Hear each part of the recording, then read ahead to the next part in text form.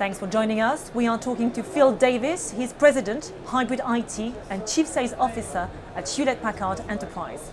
Phil, thank you for joining us. Thank you. Good to be here.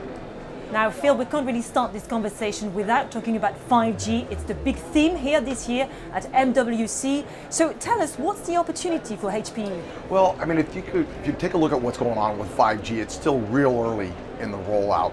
So for us, the uh, telco industry, first of all, is our biggest vertical of all the verticals we do business. So we see this as a huge opportunity. I also think it's a great opportunity for HPE to help telcos as they go through their own digital transformation. And a lot of them are really working on how do they optimize and monetize 5G. And we think by working with them and providing solutions to them, we can help them on that journey. Now, Phil, the disaggregation trend is opening up new opportunities for many vendors.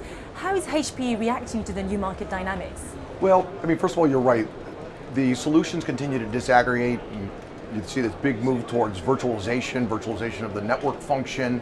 And what that's doing is causing a lot more commonality between the traditional kind of network architecture and traditional IT architectures. And in fact, even if you look at the titles at a lot of the telcos, they're now CTIO. So the combination of the CTO and IT role kind of coming together.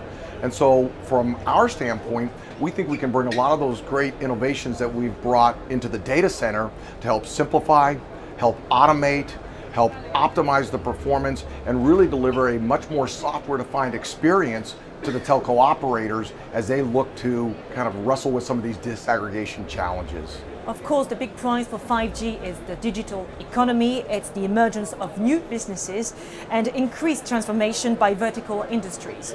Yet Gartner is saying that two-thirds of organizations intend to deploy 5G by 2020, but isn't there a danger that CSPs will not be ready by then? Well, as I mentioned, we're still early in this 5G journey, and I think if you look around the globe, you're seeing rollouts differ by the different countries or even the different regions, right? So in the US, you're seeing some fairly early adoption. Here in Europe, it's still probably earlier in that, uh, in that journey. And I think the key element that all the operators are trying to figure out is where are, what are the killer applications and how do they really monetize some of the capabilities that are built into 5G. Certainly IoT and uh, edge compute and connectivity at the edge will be important, but layering in services on top of that where the telco is able to monetize that, I think is going to be a real big opportunity. And frankly, with the operators we met here, I think a lot of them are still figuring that piece of the puzzle out.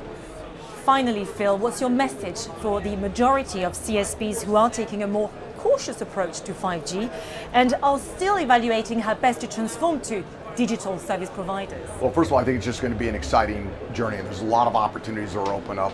HPE is committed to working with you and helping you and supporting you on that uh, journey.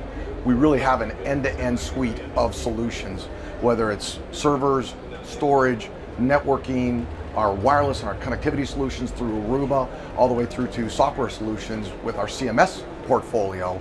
So we're here, we want to help, and we want to guide you on that journey. Phil Davis, thank you very much. Thank you.